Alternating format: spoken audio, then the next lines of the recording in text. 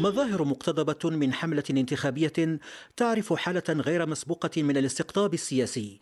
هذا هو الوضع في الرباط وفي عدد من المدن الكبرى التي يبدو أن الزعماء هجروها لكون مقاعدها في البرلمان باتت محسومة وراحوا يخطبون ود الناخبين في الأرياف. الأخ الأمين العام لحزب العدالة والتنمية أطر مهرجانات في كل يوم وهذه المهرجانات لقيت إقبالا جماهيريا مشهودا غير مسبوق.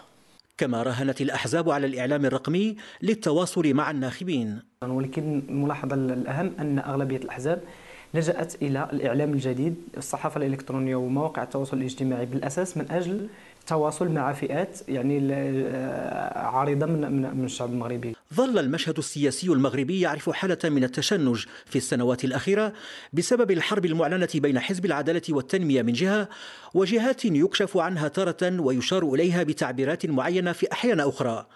وتطور الصراع بين المعسكرين وبلغ ذروته في مسيرة قيل إنها ضد أخونة الدولة لم يعرف إلى الآن منظمها.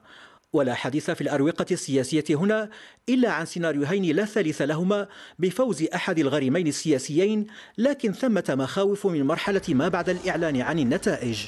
الدستور المغربي لسنة 2011 لم آه، يضع خيارات في حالة فشل الحزب المتصدر للانتخابات في تشكيل تحالف وظل ساكتا على هذه ال ال ال يعني الواقعة المحتملة آه، بن كيران استبق الأمر وحاول أن يحدد أن الخيار الأنسب آه، لأي حزب فشل في تشكيل حكومته هو الرجوع لانتخابات سابقة لأوانها. كثيرون يرون بأن أداء باقي الأحزاب السياسية في الحملة كان باهتا وتقليديا باستثناء ظاهرة فيدرالية اليسار الموحد التي شدت إليها الاهتمام. رفاق اليسار المتحدون تمكنوا من جمع نخب من المثقفين والأدباء والناشطين حولهم وطرحوا أنفسهم طريقا ثالثا.